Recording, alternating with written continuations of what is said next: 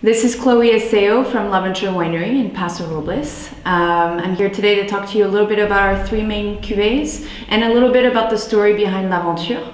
Uh, we are originally from France. My family owned a few chateaus in Bordeaux. My father was making wine for 17 years over there, but got tired of the restrictions and regulations that come with making wine in Bordeaux.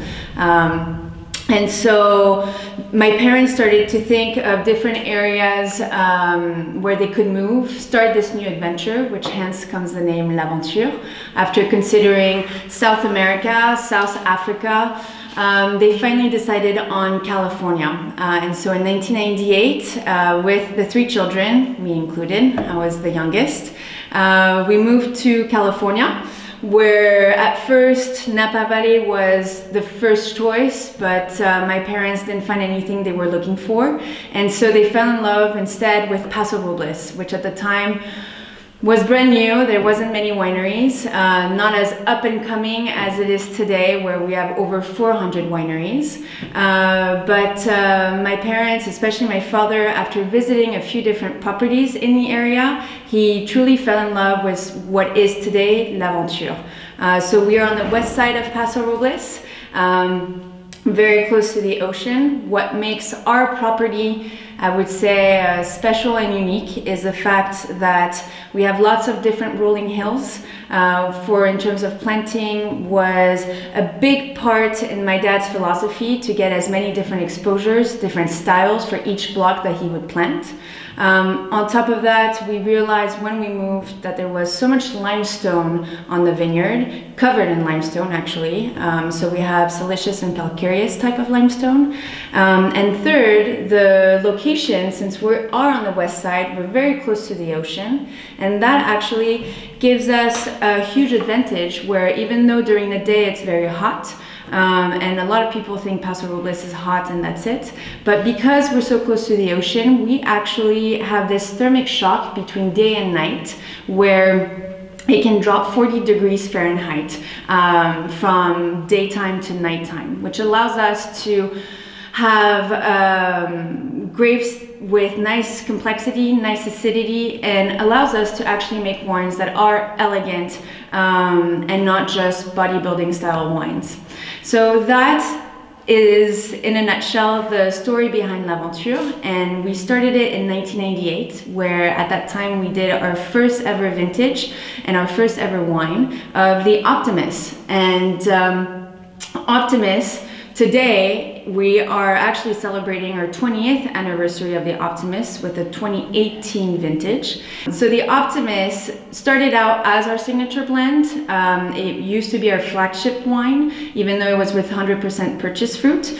But as we became more and more estate, uh, and we actually became 100% estate with all our wines in 2008, um, the Optimus truly took on a different role for us. It's more the introduction to our lineup. Um, it is best represents our idea that Syrah and Cabernet can go very well together, but it's a wine that you can enjoy sooner. So it's what I like to call our patient wine, uh, but it's also, like I said, the introduction. When you don't know us, it's a great way to get to know us because it truly represents our philosophy. The 18 vintage, again, is quite special since it is the 20th anniversary. A little bit of a different label. Um, most of all, all our labels are classic uh, cream with our logo, but in this case, we wanted to make something a little more special to really represent that 20th anniversary. Um, then we have our two high-end uh, main wines and Second is usually the Côte that I showcase. Côte, it's not so much a crazy blend, it's a pretty traditional Rhone style blend. Uh, my dad has always had a love for Châteauneuf du Pape, as do I. And this is really truly our representation of Châteauneuf du Pape. So what I mean by that is it's usually Grenache driven. It's our top Rhone fruit from the vineyard. And you will see it's more than just fruit forward, it's very pleasurable, it's very seductive of a wine. Um, and since the 2015 vintage, we have actually included some clay and cement in the aging process, which um, has truly fine tuned the blend, uh, making it, I think, today the perfect Côte Côte. And lastly, we have the Estate Cuvée. Estate Cuvée is our flagship. It's the king of the vineyard in a sense. Uh, we're back to that same crazy blend as the Optimus, so Syrah, Cabernet Sauvignon, Petit Verdot, but it's the super Optimus. It's the cherry picking of our grapes. Only the best goes into the Estate Cuvée. Only the best barrels goes into the Estate Cuvée. In terms of complexity, depth, length, uh, texture. It's truly a step above from the Optimus.